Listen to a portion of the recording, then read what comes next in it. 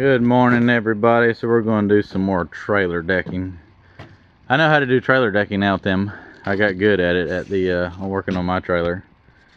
Uh on our way back from a big job about an hour and a half away from here, the boards broke with the where's the 160? 160 is over there.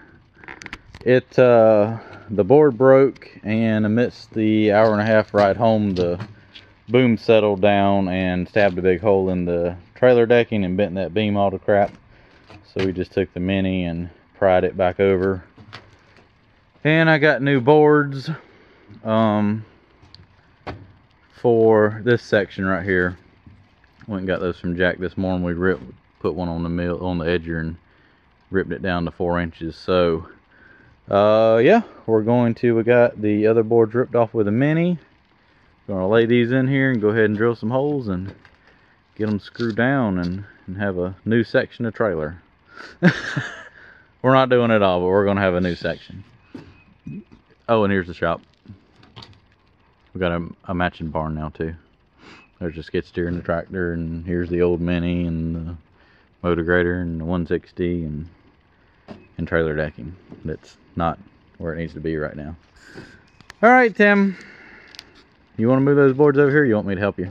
Help would be preferable. Yeah, I mean, I loaded them by myself. Well, two of them. Jack helped me with the other ones. I picked up that little one. Think it'll bridge the gap? Oh, it will. Uh, when we lay them on here, see how the crown, look at, I'm going to teach you something. Look at the end of the board now. You see the grain of the wood, how it's it's curled down? No, look at the very end of the board. Oh, just, oh, Flip yeah. it over. You always want to put them up because if you put them with the crown facing uh, up, it'll cup. Well, I guess you, that is technically up. Yeah, that, that you're going to have a bad day here in a second. Let me go help him. You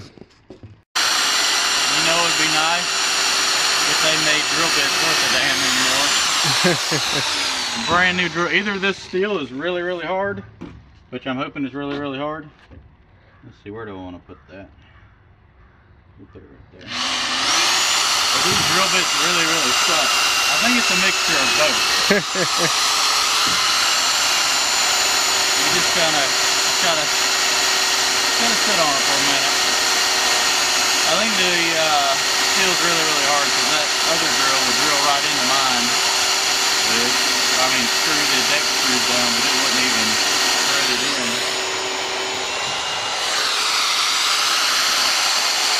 Well, we're getting there. I mean, you sit here and ponder life for a second. Eventually go. We only got four more boards left after. I know. You know, I went and got deck screws for mine yesterday, and I think we're going to use them all on this. the first time I bought 125, I thought that'd be enough. That didn't even get half of it done. Bought another 150, and I still didn't have enough. So I went and bought another 125 yesterday, and we're going to use half of them on this trailer. It's not even mine. You have to buy some stock and I just need to screws. buy like a whole pack of them. All right, my hand hurts now.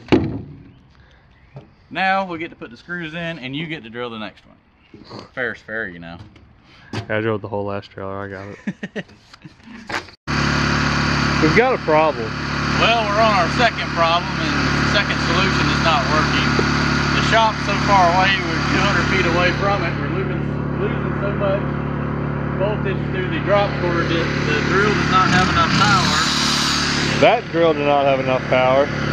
this drill through that power supply does not have enough power, so we brought the little generator, and I don't think even plugged directly into it, it's got enough power to go.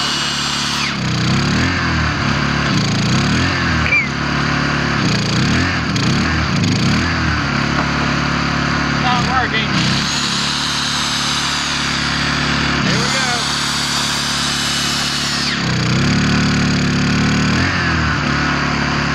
Oh, I might have to go get Big Betsy. I mean, I think the drill's got enough power. I've never had it not.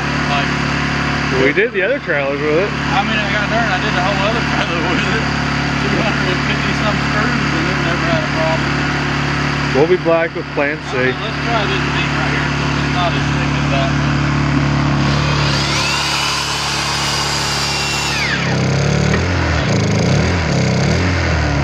Oh, that hurt.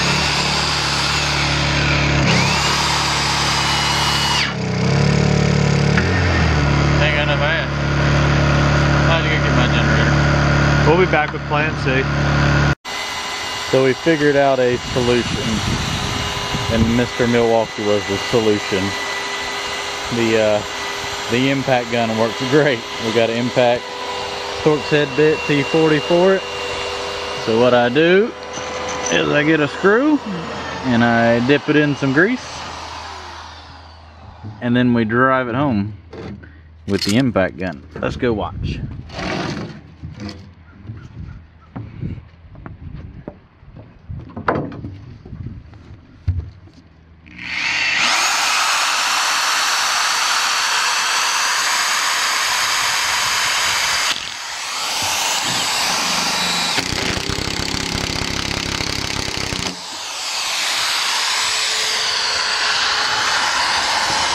That's how it works. This has been like the handiest little thing ever. But it's not little.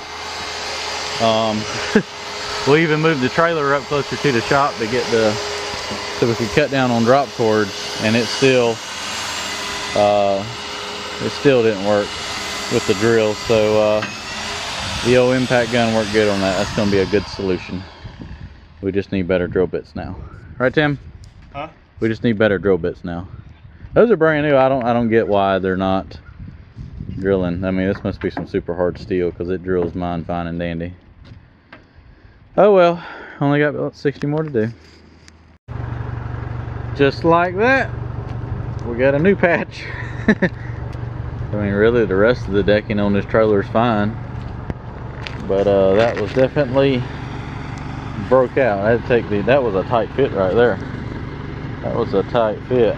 The boards ended up being an eight and a quarter. I thought they were going to be eight inches, so uh, I had a going to leave a quarter inch gap in between, but it ended up being the exact same measurement as the gap, so I had to like beat that in there with a sledgehammer. But it's nice and tight, and it'll uh, serve its purpose now. Hopefully, we can go ahead and find a steel plate, kind of like that uh, diamond tread right there, and put a spot right there where the excavator boom lays down and hopefully it won't knock another hole in the deck. Well, that's done.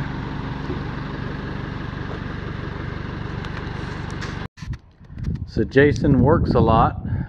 His trailer got its maiden voyage the other night uh, evening. I got home and one of the farmers down the road had six round bales of hay left. That's all they had. It's been a really wet winter this year and they everybody's pretty much sold out of hay. This is actually horse hay.